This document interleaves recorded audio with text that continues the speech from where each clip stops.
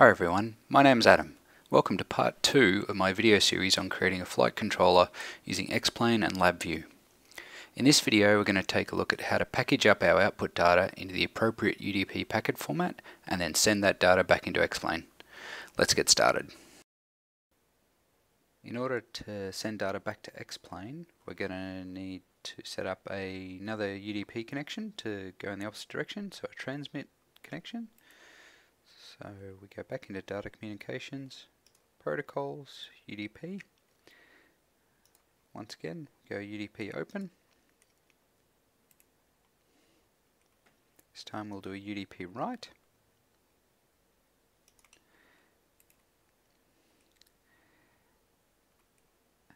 Then a UDP close on the outside again.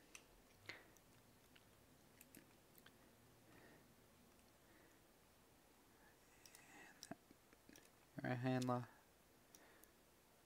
Once again, pipe all the errors straight through. Pipe the connection ID through. We need to provide a, we only need to provide a port to the open command.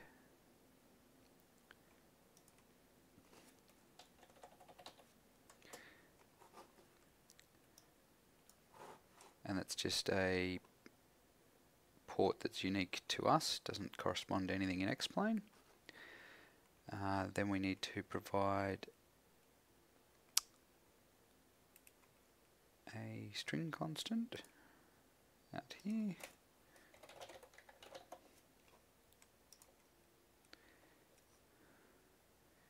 We need to provide an IP address into the UDP write command lives under TCP string to IP.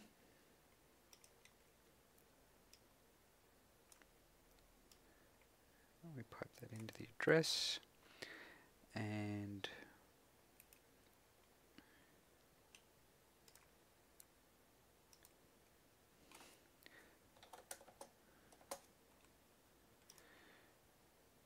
remote port which we connect in there.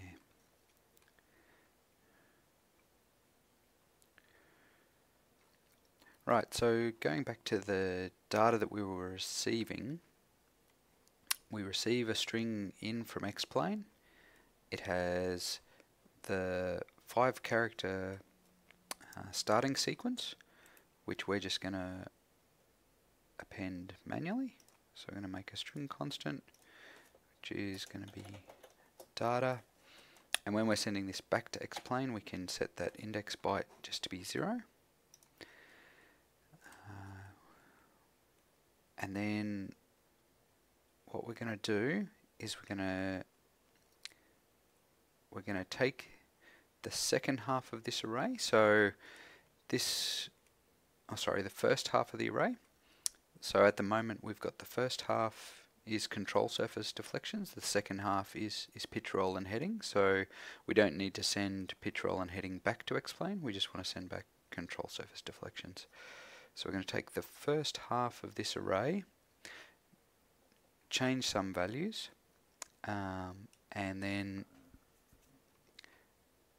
send it back to X-Plane.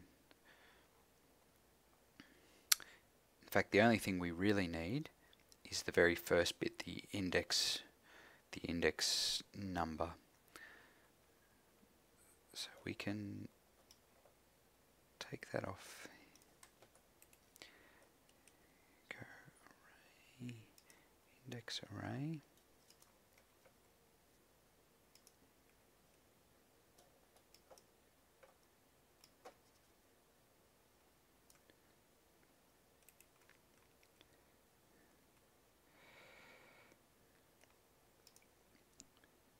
Take element 0, which will be the first bit, which will be the index for this, this row of data. And then we're going to take another array over here. We're going to build an array. This can be an array of nine elements.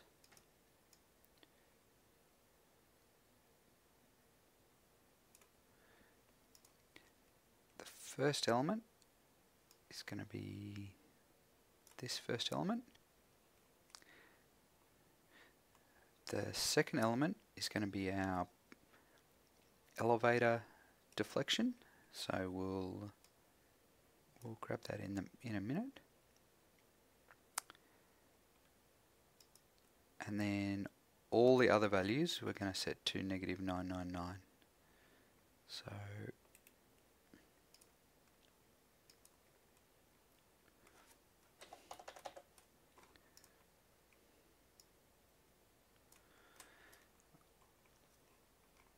I'll go and connect all these up and then come back.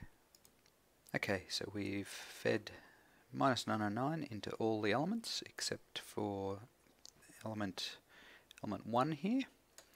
And for the moment, what we'll do is we'll create a control that we can feed in whatever value we want. So um, just create a control here numeric control, say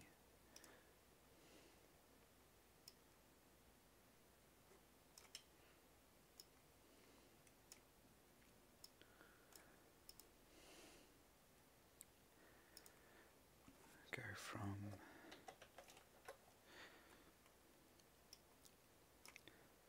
minus 1 through to 1 which is the the range of our elevator deflection. I'll talk about that more in a moment. So we now have this control, which we'll call elevator. And we'll feed elevator into that second element.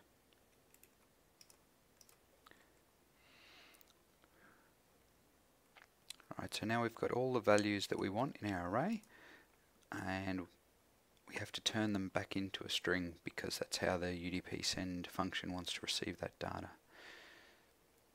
Uh, so string flatten flatten to string.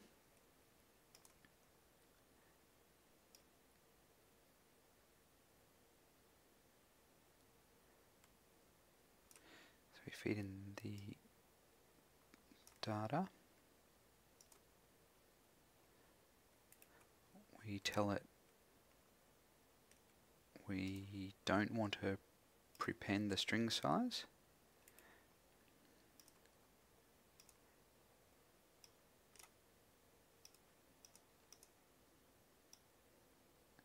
And we tell it we want it in native byte order again. Now that string and this string need to both get added together do that again. Concatenate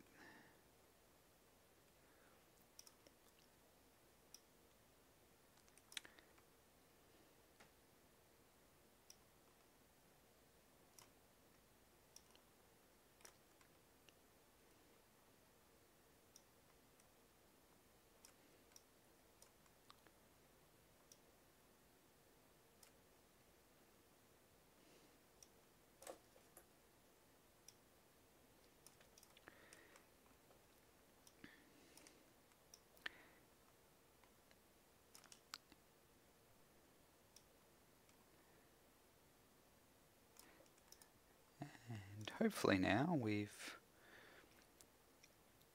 created a string that X-Plane will accept. So let's let's try that shall we and see what happens.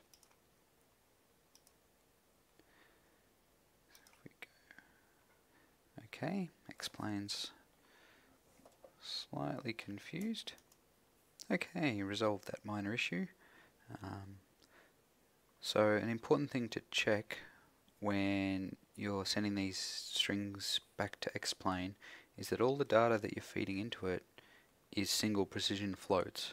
So by default these sliders come in as double precision um, controls and then what will happen is this whole array will then become a double precision array and all the float single precision values that we feed into it will just get um, converted to doubles and then our string becomes much longer than it should be and basically we, we overwrite data values in Xplane that we shouldn't and in that particular case it seemed to quite reliably make time go backwards so that didn't work so good. So now that I've fixed that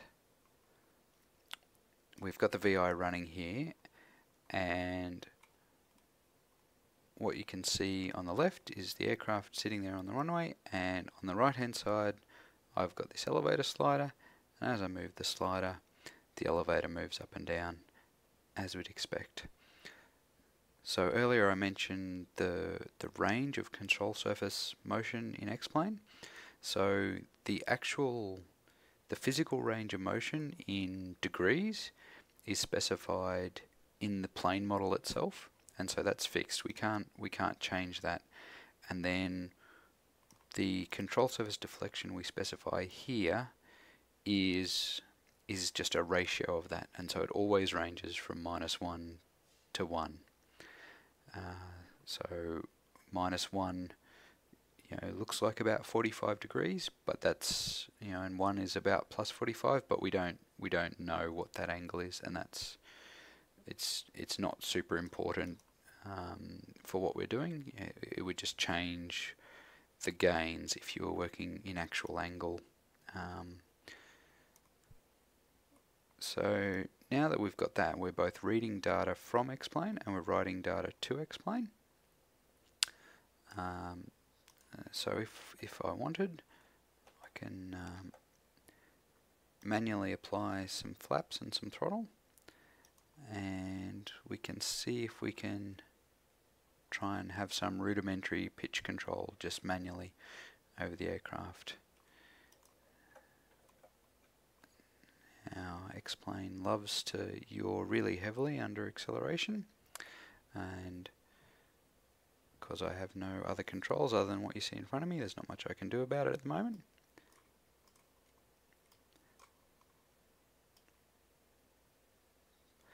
But what you can see maybe you can't see particularly well is that I do have control over pitch using our slider. And you can see the pitch being reported on our graph. So I've got no ro roll control, no yaw control, so this isn't going to last for long. Um, but you get the basic idea. So I'll let that crash. We'll reset it and we'll stop this and we'll see if we can turn this from being manual control into some sort of rudimentary control system. I hope you enjoyed this video. Click on the links to part 3 to see how we go about creating a basic closed loop control system. If you have any questions, comments or feedback, please post in the comments section below. And if you found this video interesting or informative and would like to see more videos like it in future, please like and subscribe.